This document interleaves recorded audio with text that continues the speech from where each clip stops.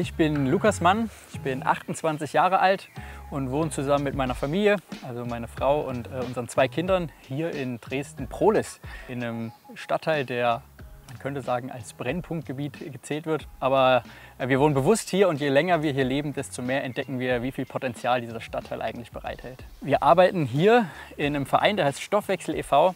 Es ist ein Träger der offenen Kinder- und Jugendhilfe. Das heißt, wir engagieren uns hier äh, in diesem Gebiet für Kinder, Jugendliche, aber auch Familien. Und wir haben es auf dem Herzen, Beziehung zu leben und irgendwie wieder so echte und natürliche Beziehungen zu Menschen zu bauen. Meine Frau hat es schon lange auf dem Herzen, äh, in die Platte zu ziehen und mit den Menschen im Brennpunkt gemeinsam da irgendwie zu leben und zu wohnen. Also nicht nur irgendwie in den Stadtteil reinzukommen, um ein bisschen Hilfe zu leisten und wieder rauszugehen, sondern dort zu wohnen, um wirklich zu verstehen, was prägt die Menschen, was macht sie aus. Ähm, viele haben eine sehr schwierige und harte Vergangenheit, ähm, haben ganz starke Ablehnungserfahrungen machen müssen, Missbrauch als Kind. Ähm, ganz wenige haben stabile Beziehungen auch innerhalb ihrer Familie erlebt durch ständig wechselnde Partnerschaften. Und deshalb merken wir, es ist eigentlich eine ganz große Beziehungsnot da und Menschen wissen gar nicht, wie eine gesunde, stabile Beziehung aussehen kann. So dass es bei einem ersten Krach äh, bei Jugendlichen schon in den Freundschaften ganz schnell wieder auseinandergeht und man die Freunde äh, auf sämtlichen Kanälen gleich wieder blockiert. Und auch äh, bei den Eltern gibt es natürlich viel Streit und ja, oft endet es dann einfach wieder in einem Beziehungsabbruch. Und deshalb äh, sind wir hier, machen natürlich als äh, Verein und äh, Träger der Kinder- und Jugendhilfe viele Angebote für Kinder, Jugendliche und Familien. Aber wir merken, dass wir es auch sehr genießen, einfach hier wirklich zu leben vor Ort als Familie und Leben mit den Menschen zu teilen. Weil ich merke, man bekommt irgendwie einen Zugang zu den Menschen, wenn man nicht nur da ist, über die Probleme zu sprechen, sondern wenn man einfach auch an einem Samstagnachmittag mit den eigenen Kindern auf dem Spielplatz ist und da sind auch die Familien mit den Kindern, die sonst in unserem Programm sind. Und auf einmal spielen unsere Kinder mit deren Kindern und man redet über Herausforderungen, die auch wir haben in der Kindererziehung und ist irgendwie dadurch viel mehr auf Augenhöhe.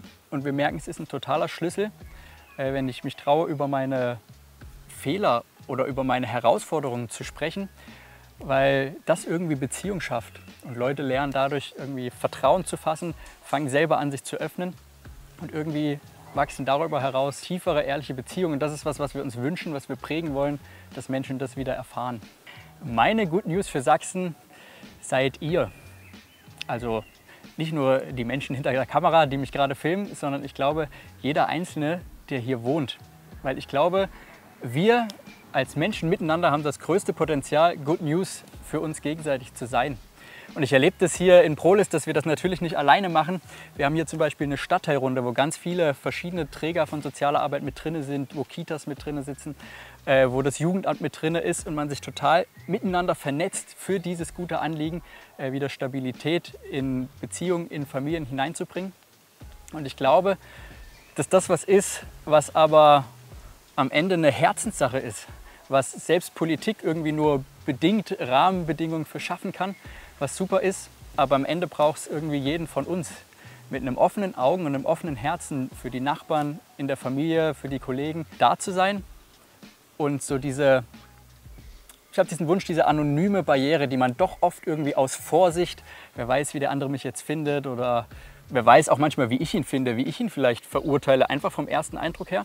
Aber wenn wir das durchbrechen, merke ich oft selber, wie überrascht ich bin, wenn ich ehrlich über mich rede und auch so diese Vorurteile mal ablege. Ich erlebe das in Prolis hier, gibt es äh, Orte, wo sich viele Alkoholiker und Drogenabhängige tagsüber treffen. Und manchmal überwinden wir uns oder trauen uns äh, hinzugehen und mit diesen Menschen einfach ins Gespräch zu kommen. Und so oft merke ich hinterher, wie dankbar ich für meine eigene Biografie bin und merke eher einen, einen Schmerz und ein Mitempfinden von den Menschen, weil ich merke, krass, wenn ich so viel Abneigung, so viel krasse Schicksalsschläge, äh, Missbrauch in der Familie und all das erlebt hätte, weiß ich nicht, ob ich jetzt ein anderes Leben führen könnte als die Menschen, die gerade vor mir sitzen. Und irgendwie baut selbst das wieder so eine Herzensebene für mich auf, auch zu Menschen, die vielleicht eher am Rand stehen, denen ich sonst aus dem Weg gehe. Und ich glaube, dass es da jeden von uns äh, braucht oder dass wir das Leben total positiv prägen können, wenn ich eben nicht nur bei den anderen Familien, die mit im Haus wohnen, äh, irgendwie Hallo und wieder Tschüss sage und es beim Smalltalk bleibt, sondern ich mir vielleicht wirklich Zeit nehme, der, jemanden, der neu ins Haus eingezogen ist, mal zum Kaffee trinken einzuladen und irgendwie Herzensbeziehungen äh, wir wieder aufbauen. Ich will davon berichten, dass ich glaube, diese natürlichen und echten Beziehungen machen einen viel größeren Unterschied, als man manchmal denkt und glaubt. Wir haben eine Mama, die schon seit vielen Jahren bei uns im Programm ist und die hat eben so eine sehr schwierige Biografie. Ihre Mama hat sie von Geburt an abgelehnt und sie hat ihr nicht mal einen Namen gegeben, sondern weil sie sich einfach nicht dafür interessiert hat. Ihre äh, Krankenschwester, die sie zur Welt gebracht hat, hat ihr dann ihren Namen ausgesucht und ein Leben lang war und ist sie bis heute noch konfrontiert, dass sie sich von ihrer Mama nicht geliebt, sondern äh, eher ausgenutzt fühlt und viel Missbrauch und dadurch viel Zerstörerisches und ich glaube echt so krasse Lügen in ihr Leben eingepflanzt wurden, dass sie nichts wert ist, dass sie ungeliebt ist und dass man so mit ihr umgehen darf. Und ich glaube, es ist so wichtig zu wissen, dass wir uns wieder gegenseitig zeigen, äh, dass jeder Mensch wertvoll ist. Mir selbst fällt es manchmal tatsächlich schwer, auch hier im Stadtteil zu leben, weil wenn ich durch die Straßen gehe, sehe ich oft sehr viel Hoffnungslosigkeit. Einsamkeit ist ein großes Thema hier. Es wohnen äh, viele ältere Menschen hier, wo man merkt, okay, sie sind wirklich ziemlich einsam, haben oft auch nicht mehr viele Verwandte, aber auch schon Kinder und Jugendliche, die irgendwie eine große Perspektivlosigkeit haben, weil sie merken, sie schaffen den Hauptschulabschluss nicht. Ähm, in ihrer Familie haben sie jetzt auch oft wenig Leute, die ihnen so Hoffnung ausstrahlen oder einen Sinn fürs Leben geben. Und mir gibt es ganz viel Hoffnung, dass wir das als ein Team hier machen dürfen.